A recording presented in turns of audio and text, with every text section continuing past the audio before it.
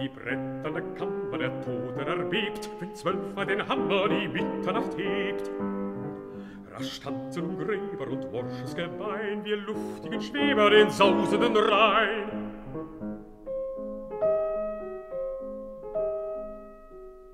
Was winseln die Hunde beim schlafenden Herrn? Sie wittern die Runde der Geister von Fern.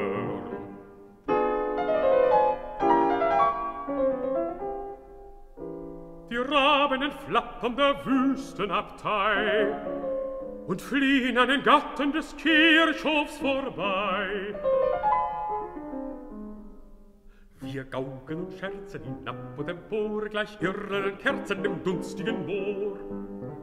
O Herz, des Zauber so Marter uns ward, du ruhst und in tauber Verdumpfung erstarrt. Tief bargst du im düstern Gemach unser Weh, Wir Glücklichen flüstern dir fröhlich Ade. Tief bargst du im düstern Gemach unser Weh. Wir Glücklichen flüstern dir fröhlich Ade.